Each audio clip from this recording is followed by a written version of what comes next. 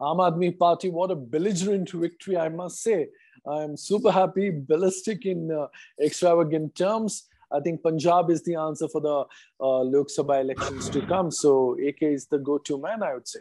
My colleague Raghav Chadha made a, a brilliant statement, which I also did over the last one month in several uh, um, national media channels have been very vociferous of the fact that Aam Aadmi Party will indeed be the principal opposition. Also, as a matter of fact, I recall the words of Yogendra Yadav, who once said that Congress must die for other principal opposition parties to come into the fray. So it's been uh, fantastic. Undoubtedly, Arvind Kejriwal, uh, I would also prophesize on your show today, my friend Sharan, that he is the next uh, prime minister to look out for, if not in the next two years, but definitely in the seven years, the 2029 to look forward to.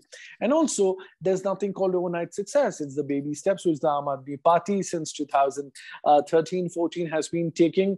This is the second state that will be forming government in, and many more states to go. Gujarat is coming up, and so is Himachal Pradesh. So, yeah, victory all the way.